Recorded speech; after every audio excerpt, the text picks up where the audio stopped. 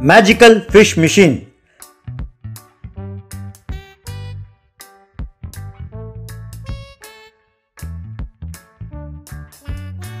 गरियाल नाम के गाँव में दास और बबीता नाम के पति पत्नी रहते थे।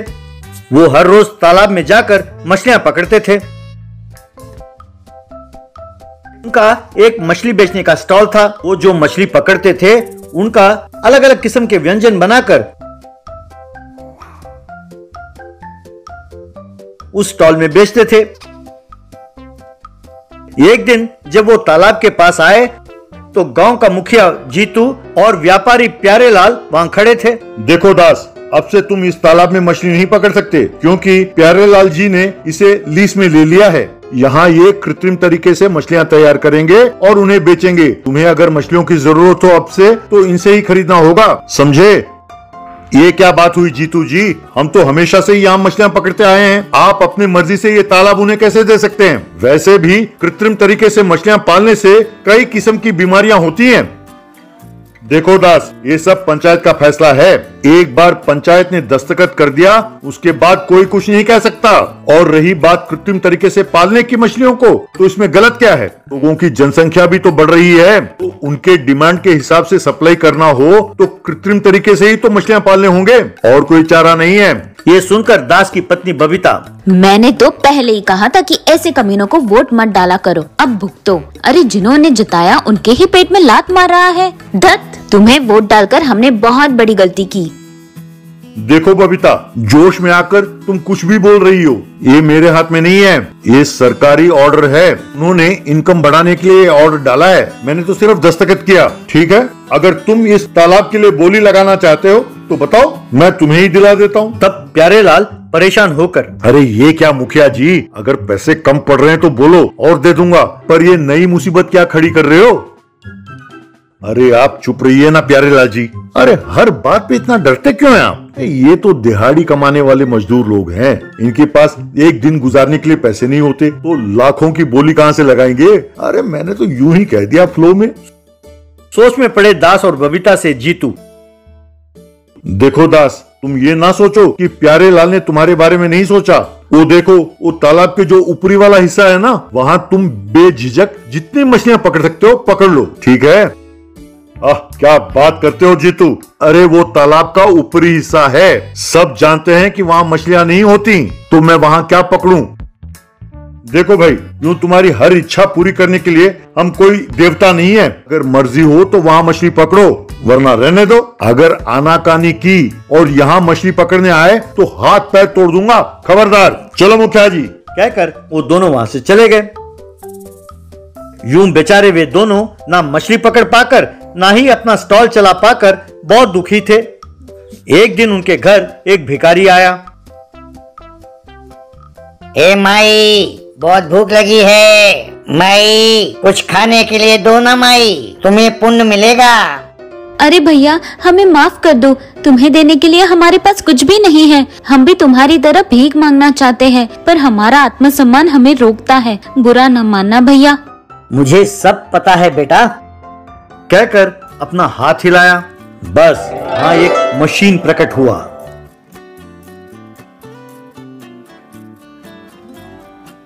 उसे देखकर पति पत्नी दोनों हैरान हो गए। बेटा ये एक मैजिकल फ़िश मशीन है। इसे तुम पानी के पास ले जाओ और पाइप को पानी में डालो। बस वो मछलियों को आकर्षित करेगा और तुम्हें देता रहेगा। महाशय आप हैं कौन और आप हमारी मदद क्यों कर रहे हैं? आपका बहुत बहुत धन्यवाद। अरे तुम मुझे कुछ भी समझो, कोई बात नहीं। एक और बात कहना भूल गया ये मशीन सिर्फ़ मछलियाँ नहीं पकड़ती, लेकिन मछली के व्यंजन भी बनाती हैं। इस मशीन द्वारा तुम खूब पैसे कमाओ और खुश रहो। कहकर गायब हो गया। वे दोनों हैरान होकर प्रणाम करने लगे। यूँ वे दोनों उस मशीन को लेकर तालाब के ऊपरी भाग में गए और वहाँ पाइप को पानी में डाला। मशीन को ऑन करते ही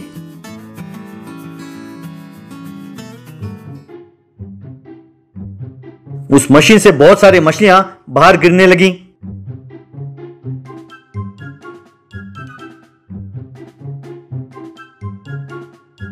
ये देखकर दोनों बहुत खुश हुए।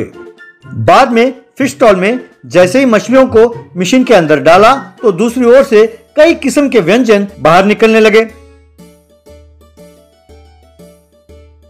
उन्हें खाकर लोग बहुत खुश हुए।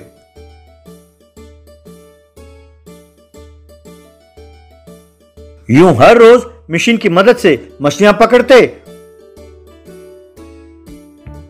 और स्टॉल में कई किस्म के व्यंजन बनाकर बेचते। यूँ उन्होंने खूब पैसे कमाए। लेकिन प्यारे लाल और उसके आदमी ने बहुत कोशिश की, पर एक भी मछली नहीं पकड़ पाए। एक दिन प्यारे लाल के आदमियों ने प्यारे लाल को उस मशीन के बारे में बताया। प्यारे लाल गुस्से में अपने आदमियों के साथ उस मशीन के पास आया। क्यों प्यारे लाल जी? आप हम जैसे भोले लोगों को धोखा दे सकते हैं लेकिन भगवान को ठग नहीं सकते। आप देखना चाहते हैं कि मछलियाँ कैसे पकड़ते हैं? देखिए हमारा जादुई फ़िश मशीन। कहकर उसने फ़िश मशीन को ऑन किया। बस एक एक करके मछलियाँ फ़िश मशीन से बाहर गिरने लगी।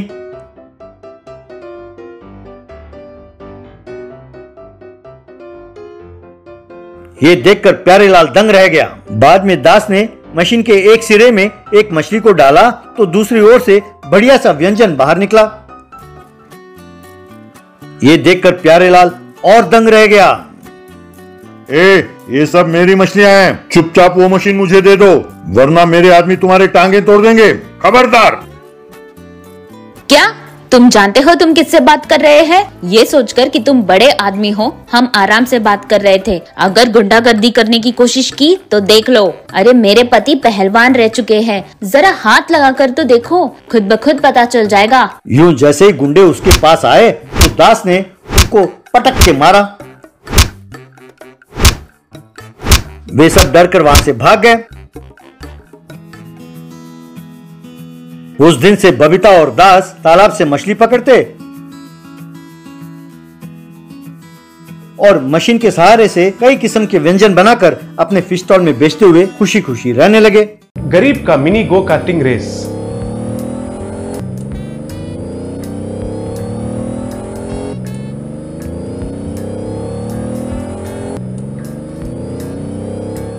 Udaipur के गाँव में राजीव और धीरू कहकर दो गरीब कॉलोनी के बच्चे अच्छे दोस्त बनकर रहते थे।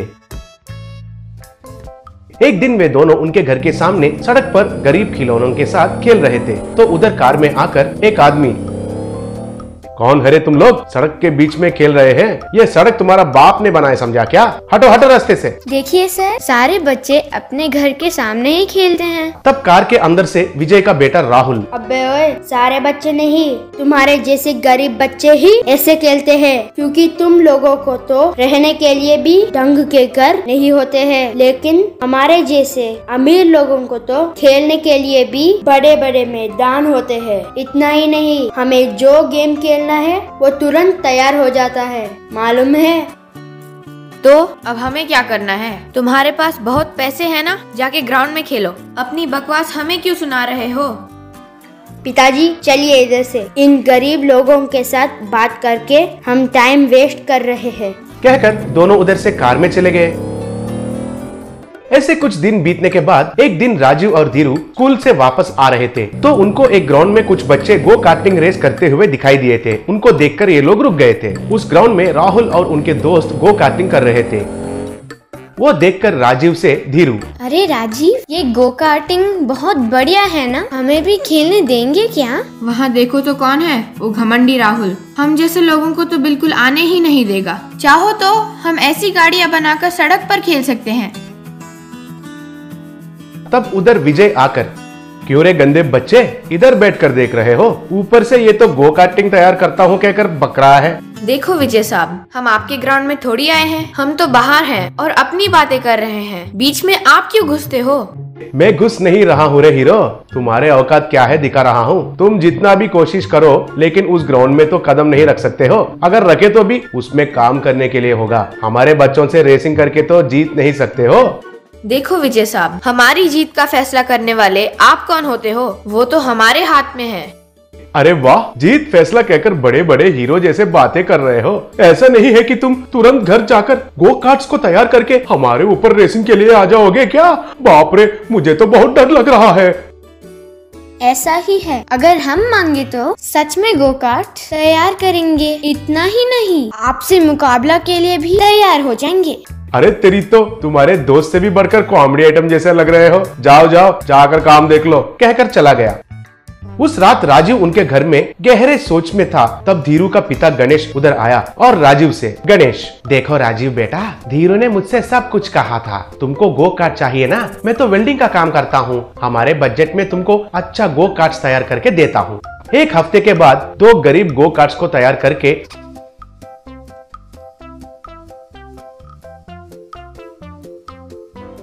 उनको दिया। तब राजीव धीरू बहुत खुश होकर उनको चलाए।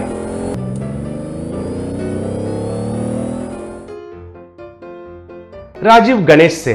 थैंक यू अंकल ये तो बहुत बढ़िया है। सुपर इतना ही नहीं, बहुत स्पीड भी पकड़ रहा है। और ये साइकिल टायर्स लगाने की वजह से बहुत बढ़िया दिख रहा है अंकल हाँ मेरे दोस्त के पास दो पुराने गो कार्ट का इंजन को खरीद कर उनको मॉडिफाई करके दिया और मैंने मेरे पास जो आयरन था, उससे मोल्डिंग करके पूरा तैयार किया। और टायर्स लगाने के लिए मेरे पास पैसे खत्म हो गए थे, इसलिए साइकिल का टायर्स को लगाया। लेकिन इसका स्पीड बिल्कुल कम नहीं हुआ। चाहिए तो ये ओरिजिनल गो कार्ट से भी मुकाबला कर सकते हैं। तब राजू और धीरू गणेश को थैंक्स कहकर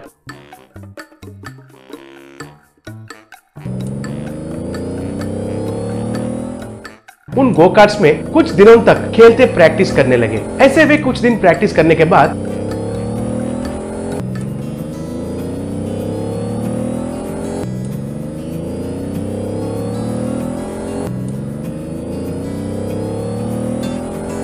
ग्राउंड में विजय और राहुल के पास जाकर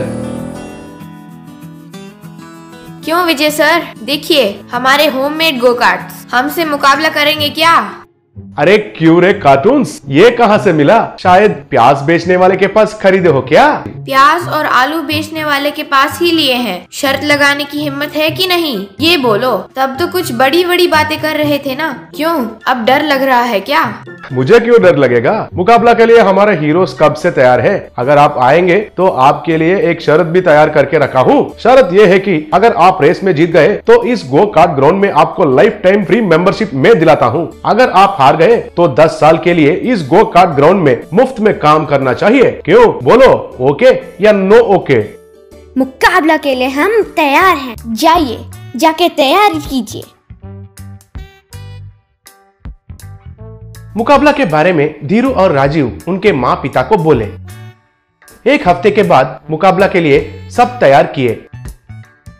रेस में होममेड गो कार्ट्स पर राजीव और धीरू नया गो कार्ट्स पर राहुल और उनके दोस्त सब तैयार थे।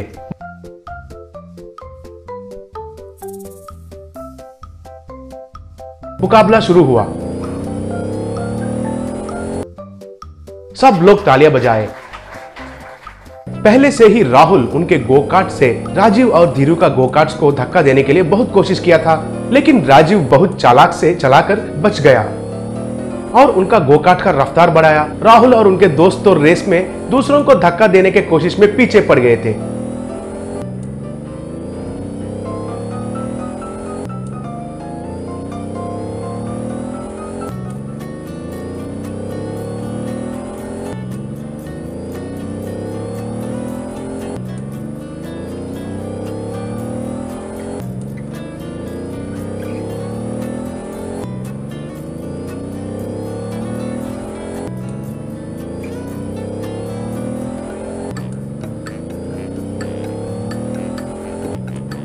राजीव और धीरू उस रेस में बेहतरीन से जीत गए।